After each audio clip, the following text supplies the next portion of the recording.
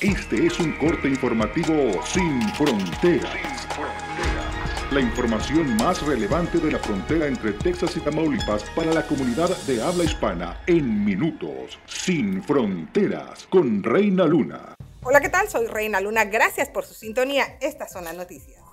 El dólar sigue caro, 17 pesos con 80 centavos a la venta, 16 pesos 60 centavos a la compra. Esta fue la cotización de ayer frente al peso mexicano. En las casas de cambio de la región, organismos privados de Tamaulipas pidieron al presidente mexicano detener el avance de la divisa verde frente al débil peso mexicano.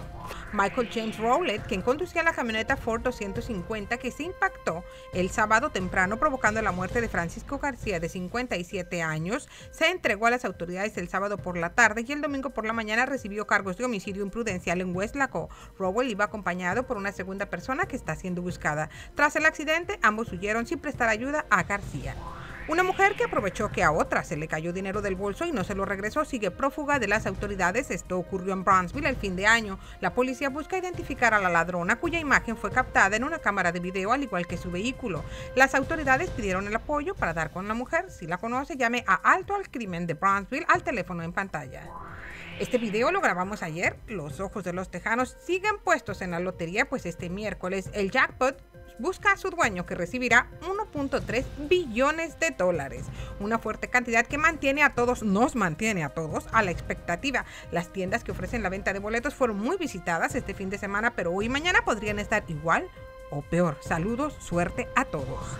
Pedimos su colaboración para dar con el paradero de Alexander Solórzano, quien desapareció el 18 de mayo del 2015 cuando intentaba cruzar la frontera en Estados Unidos. Su desaparición ocurrió en el área de Reynosa. También buscamos a Marco Tulio Morales, también guatemalteco, desapareció hace tres años cuando se dirigía ilegalmente a Houston. Si sabe algo de ellos, infórmelo a Sin Fronteras.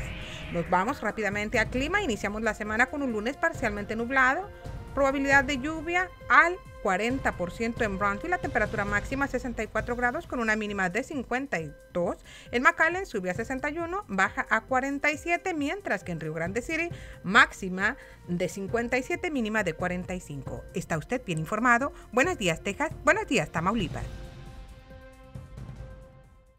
Este es un corte informativo sin fronteras. La información más relevante de la frontera entre Texas y Tamaulipas para la comunidad de habla hispana en minutos. Sin fronteras con Reina Luna. ¿Qué tal? ¿Cómo le va? Bienvenido al segundo segmento informativo Sin Fronteras. Estas son las noticias. Atención, este niño desapareció en Reynosa el 5 de enero pasado. La Procuraduría de Justicia de Tamaulipas activó la alerta Amber.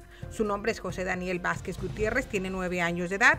El alerta se activó en cinco estados de México. El niño tiene pelo ondulado color negro, ojos color cafés, mide 1,20 y pesa unos 20 kilos. La última vez que se le vio fue con dos mujeres desconocidas en Reynosa. Si sabe algo, llame a la Procuraduría de Tamaulipas al teléfono en pantalla.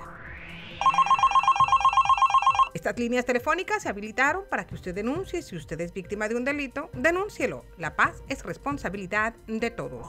La Secretaría de la Defensa Nacional detuvo en Altamira a Héctor Crescencio de León Fonseca, quien se desempeñaba como segundo de Marco Antonio Aro Rodríguez, jefe de plaza de un grupo delincuencial que opera en el sur de Tamaulipas. De León Fonseca, conocido con los sobrenombres R3 y Teto, fue capturado el jueves. Se dijo que operaba en González, Villa Manuel, Altamira, Tampico y Madero, Tamaulipas, así como Pueblo Viejo, Tampico Pico Alto y Pánuco, Veracruz. Esta semana es decisiva para Tamaulipas, pues este sábado se estará eligiendo a los candidatos del Partido Revolucionario Institucional y de Acción Nacional para contender por la gubernatura de Tamaulipas. Por el lado del PRI, algunos son Marco Antonio Bernal, Baltasar Hinojosa, Alejandro Guevara Cobos, María del Carmen Guillén, Enrique Cárdenas del Avellano, Alejandro Etienne, entre otros, mientras que por el PAN Francisco García Cabeza de Vaca, Carlos Canturrosas y Leticia Salazar. Las elecciones se llevarán a cabo a mitad de año. El gobernador de Tamaulipas, Egidio Torre, visita hoy Reynosa, en donde coloca la primera piedra de lo que será la ciudad de los niños, que será un lugar especial dedicado a los niños, a su entretenimiento y su cultura. Nos vamos rápidamente al clima. Tenemos este lunes un 40% de probabilidad de lluvia en Matamoros. La temperatura máxima llega a los 16 grados, la mínima en los 11, mientras que en la ciudad de Reynosa se espera una temperatura máxima de 13 grados con una mínima de 8. En Camargo sube a 15 grados, saludos por allá, mínima de 7. ¿Está usted bien informado? Buenos días, Texas. Buenos días, Tamaulipas.